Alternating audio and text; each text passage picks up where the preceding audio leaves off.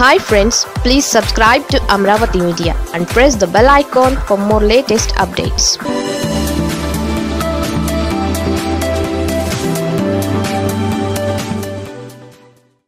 కర్ణాటకలో సిబిఐ సోదాలు ఏపీలో ప్రకంపనలు.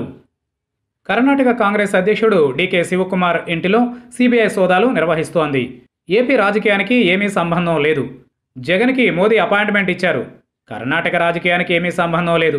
కానీ ఈ రెండింటి ఉమ్మడి బాధ్యులు బీజేపీ బాధితులు విపక్షాలు. అక్కడితో ఆగలేదు. ఈ రెండింటికి మధ్య చంద్రబాబు అనే ఓ లింక్ ఉంది. కర్ణాటకలో కాంగ్రెస్ నేత ఇంట్లో సోదాలకి జగన్ ఢిల్లీ వెళ్ళి మోదీని కలవడానికి ఇక్కడ చంద్రబాబుకి లింక్ ఉంది అనడానికి చిన్నపాటి లాజిక్లు మాత్రం ఉన్నాయి. వాటిని ఛేదిస్తూ వస్తే ఈ లింకు బీజేపీ సీరియస్గా తీసుకుంటే చంద్రబాబుకి మూడింది అని ఫిక్స్ అయిపోవచ్చు. ఈ అంశంపై కొంచెం లోపలికి వెళదాం. జగన్ రెండు వారాల వ్యవధిలో ఢిల్లీ వెళుతున్నారు. మొన్నటిసారి వెళ్ళినప్పుడు బీజేపీ ద్వయంలో ఒకరైన అమిత్ షాని కలిశారు. ఇప్పుడు ఆ ద్వయంలో రెండో వ్యక్తి మోదీని కలుస్తున్నారు. ఒక రకంగా దేశమే వీరిద్దరి గుప్పెట్లో ఉంది. జగన్కి రెండుసార్లు వీళ్ళు అపాయింట్మెంట్ ఇచ్చారు అంటే అదేదో పెద్ద విషయమే అయి ఉంటుంది.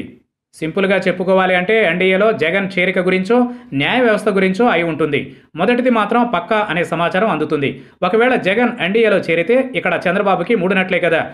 ఏమయ్యా జగను? వచ్చే ఎన్నికల నాటికి నువ్వు నేను చూసుకుందాం. ఆ చంద్రబాబుని పక్కకు దోసే. ఎమ్మెల్యేలను లాగేసి కేసులు పెట్టేసి చంద్రవందర చేసే. నీకు ఫుల్ పవర్స్ అని పెద్దలంటే జగన్కి కొమ్ములు వాడెక్కినట్లే కదా. చంద్రబాబు టీడీపీ మూలకు చేరితే జగన్కి బీజేపీ పెద్ద లెక్కేమీ కాదు. అందుకే జగన్ టీడీపీ పతనం కోసం తన కేసుల కోసం తన ఇతర అవసరాల కోసం బీజేపీ అడిగితే మాత్రం ఎన్డీఏలోకి చేరడం ఖాయమే. డీకే శివకుమార్పై అవినీతి కేసులున్నాయి. సిబిఐ దాడులు ఇప్పుడే క్రొత్త కాదు.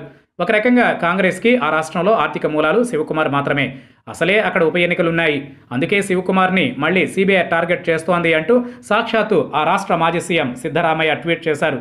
అందుచేత ఆర్థిక మూలాలు పెకలించే పనిలో బీజేపీ ఉందన్నమాట.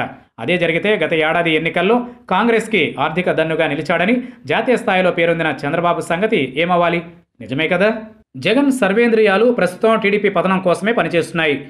సంక్షేమం అమలు చేయడం ఒక ఎత్తు. తన రాజకీయంగా పోటీ లేకుండా చేసుకోవడం మరో ఎత్తు. ప్రస్తుతం జగన్ ఇవే అమలు చేస్తున్నారు. దీనిలో భాగంగా చంద్రబాబు ఆర్థిక మూలాలు పూర్తిగా పెకిలించాలి అంటే తనలాగానే సిబిఐ కేసులు పడాల్సిందే. ఈడీ రంగంలోకి దిగాల్సిందే. పంతొమ్మిది వందల తొంభై ఆరులో సీఎం అయినప్పటి నుండి అన్ని తీగలు లాగేసి చంద్రబాబు బండారం తేలిపోవాల్సిందే. కేసులు కట్టేసి ఆస్తులు లాగేసి జప్తులు చేసేస్తే చంద్రబాబుకి మూడుతుంది.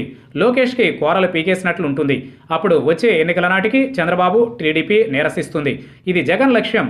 జగన్తో అధికారికంగా కలిశాక ఇక బీజేపీ లక్ష్యం కూడా ఇదే అయినా ఆశ్చర్యం అవసరం లేదు. మోదీకి అన్నీ గుర్తుంటాయి. రెండు వేల పంతొమ్మిది జనవరి నుండి ఏప్రిల్ మధ్యలో చంద్రబాబు ఆడిన ప్రతి మాట మోదీ మైండ్లో ఉంటుంది. వాటి పర్యవసానాలు చంద్రబాబుకు తెలియాలన్నది మోదీకి ఉంటుంది కదా